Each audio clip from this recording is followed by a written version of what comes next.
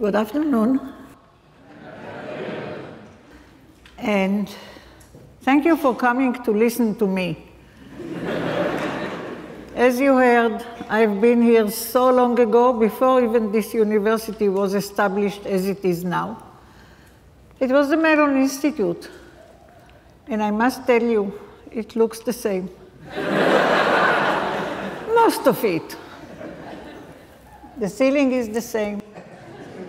The elevators are the same. The floor is the same. People have changed. And the entrance is not through the Fifth Avenue. But otherwise, I'm really happy to come back here. Since I, I left 50 years ago, more or less 50 years ago, I was here only once, invited to give a lecture. And uh, today, so uh, may I correct the statistics that was given earlier, 13 PhDs today? I think it's 14 because I also got one.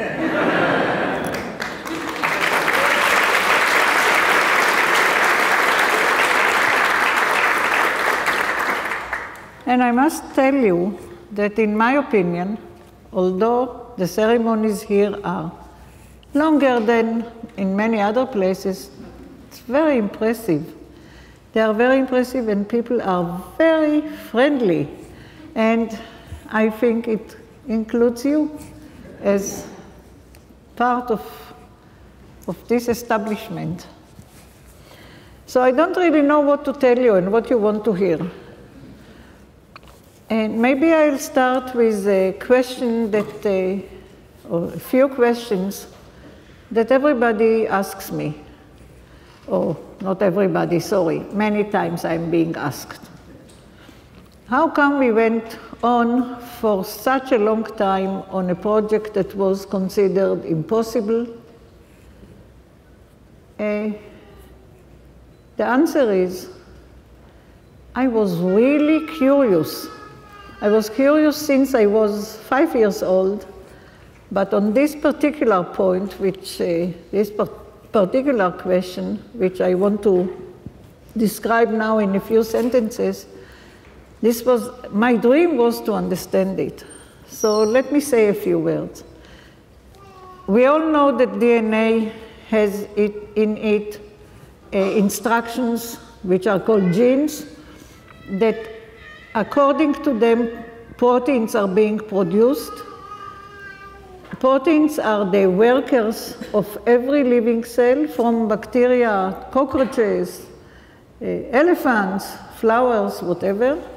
They are, they are performing most of the tasks that are needed for life, and they can, can function only when their structure is made for the function, and this is determined by the sequence of the components that produce the proteins. These components are called amino acids. There are 20 types of them in the whole universe, and the, the order of these 20, 20 types of components is determining how the protein will look and what the protein can do. Proteins are usually made of 150 to 300 amino acids, these components, and the order of them that I just said is dictating what they can do as machines, as molecular machines, is dictated by the genes, the genes that are in the DNA. So the DNA language is made of only four letters.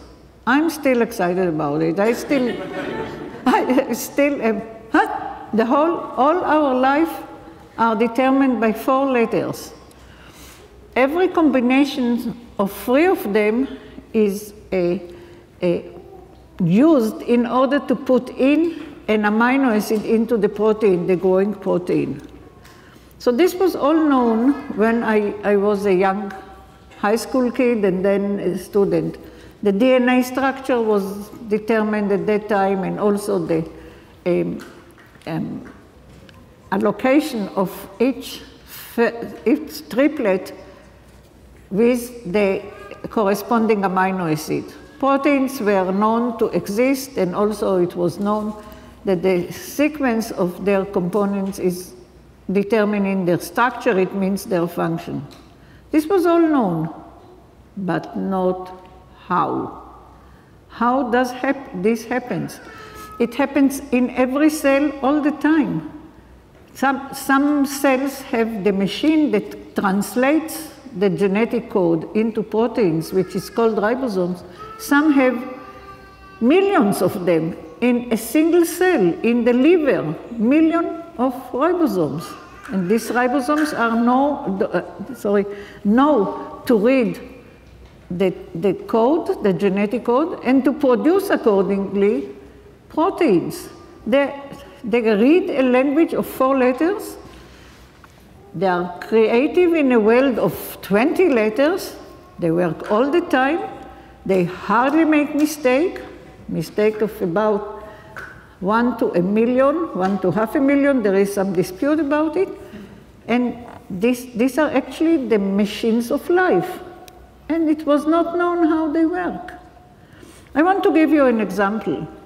Ribosomes can make about 40 bonds between the components of the protein in one second with very, very little mistake.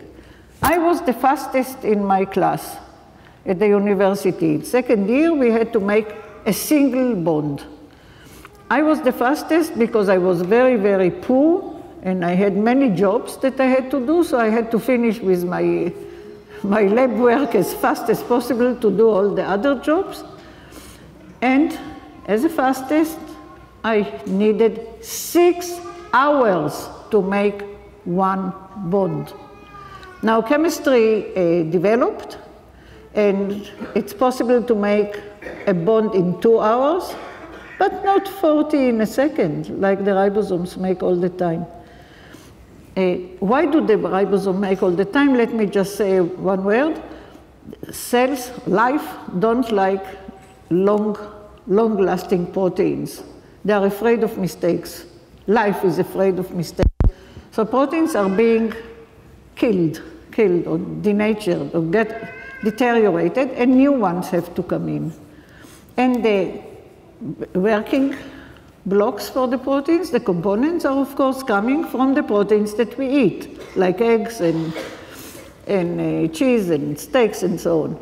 So this is what the cell is doing all the time. The cells are doing all the time everywhere in every living organisms, including bacteria, and it was not known how. And for me, this was a very exciting question. I was really curious about it. I really wanted to understand it. I was not the only one. There were several other groups led by more distinguished scientists with much more experience that, uh, than a new, a, a new fresh uh, scientist like I was at that time, and they failed. Some of them have been and still are very distinguished. So I thought, if I also fail, hmm, I join a good group of failures. But my curiosity was stronger than me, and we continued.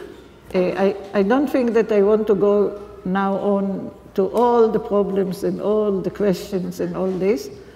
But after 20 years, we got the structures and we understand the, the function. And I think that the take-home lesson for you new graduates, curiosity is, is the driving force. Don't give up if something excites you and if you are curious about something. Of course, if something of, of meaning in life, in nature, in space, in whatever you are interested. So this is one thing I wanted to stress, curiosity and passion. You know, when I was young, I didn't even know that there is a profession called scientist. As I told you, we were very poor. My parents had no scientific or any similar education. And I, I thought that how come somebody will pay for somebody else that works on her or his hobby. I looked at answering questions that I was curious about as a hobby. And I didn't think that hobby can be paid for. I, I changed my mind when I was already a student and uh, I was in, at the university and saw that there are labs and so on, so uh, this is the way I went into science. But still, curiosity was and still is my driving force. Now my driving force uh, led, leads me into two uh, ideas, two paths that were al already mentioned a minute ago. One is the origin of life, I think, we think, that we discovered within the ribosome the, a pocket that is where life started in the prebiotic time. This is one thing. We are trying to, to uh, prove it, and a few months ago we got the first proof. And the second is not only to understand how antibiotics work, but also how resistance to antibiotic, antibiotics is acquired, and what can one do in order to fight against it. So let me say a few words about that. Antibiotics that are being used today, all almost all, not all, but almost all antibiotics are natural products which are the weapons that one bacteria type is using against enemies, other bacteria. And the doctors uh, are using it when the antibiotics are such that they don't disturb the patient. We don't want to kill the patient, but they can kill the the bacteria, the bad bacteria, the pathogens. Because ribosomes are so important, as you heard a minute ago, they produce all the cell workers. They are a very, very uh, beloved target to the antibiotics. Almost half of the useful antibiotics are paralyzing ribosomes. No new proteins, no new life for the next generation. But bacteria are clever in many aspects are cleverer than us, at least in survival. So the bacteria found ways to resist the weapons that other bacteria produced against them. All ribosomal antibiotics that are known today are paralyzing the ribosome by stopping one of their functions. It's not, not needed to stop all functions, just inhibiting one of their functions, like the reading of the, of the code or producing the bond and so on. It's enough that one of these functions is, is uh, done and the ribosome cannot function and next generation will not have proteins or will have wrong proteins and so on. Uh, bacteria found it out, bacteria make it, made it. And all uh, uh, experiments done, or all, all trials done by, by companies could not overcome that.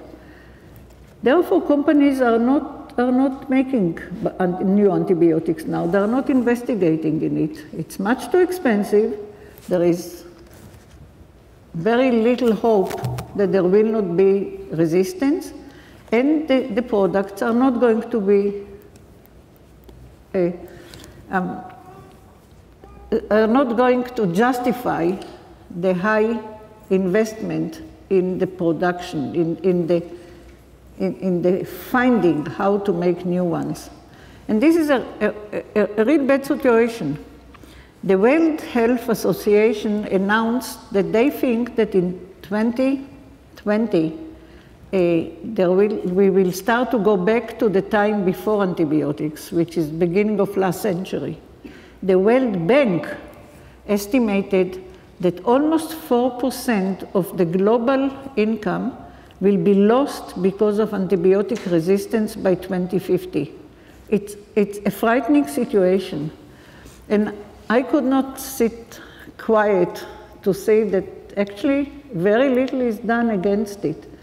Although governments and the European community, the G7 and the United States have uh, acknowledged the problem recently, two or three years ago, and started to uh, allocate more money for more funds for research, they cannot convince the companies to, to take off from the research to the production. So we decided in my little lab to look for new ways for uh, producing antibiotics. And uh, therefore we de determined the structures of several ribosomes from uh, bacteria that are pathogenic and we are looking for differences in structures between those and the good bacteria which are not connected to the functional sites, but can stop the production of proteins. And so far we've identified a few of them, and we are working on it now. So I see that maybe we can still contribute something to humanity, to the health, and so on. So before I finish, I want to relate to another question that I'm frequently being asked. What advice can I, can I give to young people, to you guys, you guys, uh, in order to, whatever, be a good scientist or my advice, I have only one advice. Don't look for advices. do what you think is interesting for you, what you think you can do, what you think will be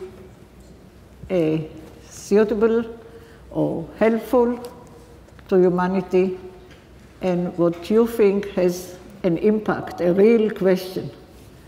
Good luck to all of you. Congratulations. And uh, I, I hope to hear about you in the future.